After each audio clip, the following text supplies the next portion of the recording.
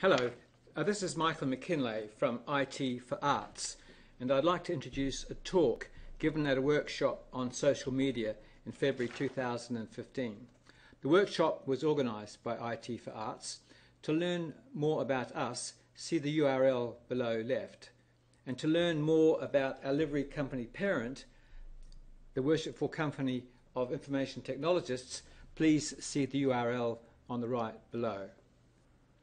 This was the agenda for the day, and we've circled the speaker you're about to hear. This was one of many interesting talks on the day, and we hope you enjoy it.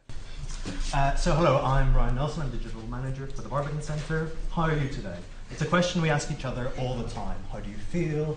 Uh, how are things going? If you're Northern Irish like me, uh, what's the crack? Um, but it's not really a question we ask our audiences. We tend to ask them what do they think, not how do they feel. And yet they're telling us all the time how they feel. They're telling us on Facebook that Harold and Maude is their favourite Valentine's film. They're telling us on Twitter that they're excited about We Are Villagers coming. And they're telling us on Twitter that they collect weird sex toys and hate mail.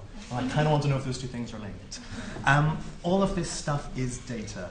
We may not think of it as data. It's not numerical, it's quite subjective, it's quite fluffy.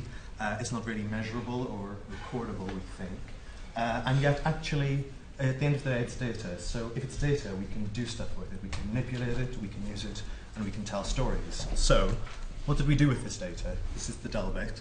Uh, we were approached by the Technology Strategy Board to uh, come up with a challenge for a £25,000 innovation fund. Uh, so our challenge was how do you uh, enable an audience who knows nothing about the arts to explore our vast programme? We put on 4,000 events in 2014 across 40 different venues. And if you aren't in the know, it's quite hard to penetrate that. So agencies were shortlisted, they applied, a final three were presented, uh, we selected one, and it was the Project Factory who came up with Sentiment Search or How Do You Feel? And it does exactly what it says on the tin. It allows an audience to search events not by what they are, but by how they feel. So, as an example, if I want to experience something haunting, I will click something haunting and I'll be represented, uh, presented with the Vakhtangov uh, production of Onegin, uh, a Nico Muhly uh, contemporary weekender, and a multimedia opera of Alice in Wonderland. These three events would never normally be grouped together. They transcend continent, century, art form, uh, but here they're presented uh, in a very emotional, subjective connection, the fact that they'll all make you feel haunted. Uh, what's also interesting is the same event will appear under different words and sometimes conflicting words. So Alice in Wonderland appears again. It's not only haunting, it's also quirky. So you get this layering of information where different events uh, appear with different emotions. How does this work? So the Project Factory, who's the agency, licenses a Twitter scraper which goes through all of Twitter and gives us every reference to the Barbican Centre. They then anonymize the tweet uh, and identify the adjectives within it. So in this example, which is a lovely tweet about our most recent exhibition, uh, it's highlighted the words. Now, I don't really like the word cheap here uh, because it's not actually describing the exhibition and it's not that cheap. Uh, so I'm going to reject that from the system for the moment. Uh, not because it's a bad word, I'll come back to that, but just because it's not that accurate. But I love the word kitsch. I feel kitsch 90% of the time, and I want to feel it more of the time. I think other people should feel kitsch.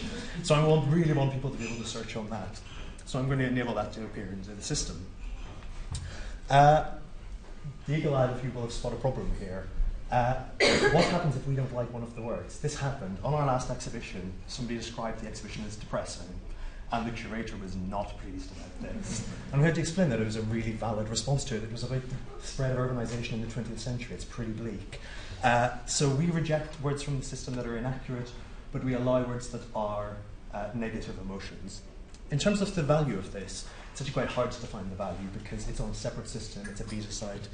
But qualitatively, we've had some really lovely responses. My favourite being, it's made of concrete, but it has a heart. Uh, we often get accused of being quite a stone-hearted organisation. So this was a nice way of putting emotion first. That's certainly a bit Serendipitous Search in a nutshell. Apologies for the photo, I've run out of ideas by this point.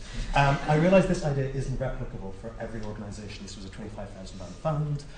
Other people don't have as massive programs. So I want to talk about some of the lessons that maybe came out of this and different ways of working with social. So the first one is telling different stories with our data uh, and with social. Most of our social activity still lives on social. We respond to people on Twitter, we keep it there.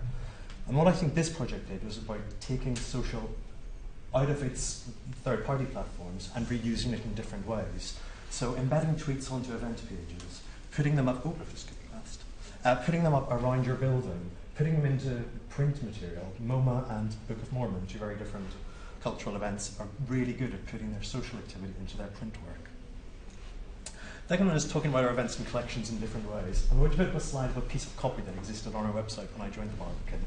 If you can read it in 20 seconds, never mind understand it, I will be impressed. This is the way we as the Barbican tended to talk about our events program. And what this project has actually done is moved us away from very cerebral ways of thinking to quite emotive ways. And what you should really be doing is telling your audience what they're going to experience. How are you expecting them to feel when they come? Not the fact that it's that. Uh, the third one is making different connections. So we often group our events around really logical, sensible things like seasons, artists, genres, uh, artistic periods, and that's fine if you're in the know. But if you don't have a clue about any of that, it can be quite alienating. But what about making different and new connections between events? So 25 artworks that contain cats, or 10 theatrical heroes who just can't even. What about what are the sort of different connections or ways you could group events? Um, I can tell you're all trying to solve that now. So I'm going to finish up. Uh, that's my email address. I'm also on Twitter, online John Nelson. I mostly tweet about Great British Bake Off and Angela Lansbury. You probably don't want to follow me. Uh, that's it. It was a quick emotional journey.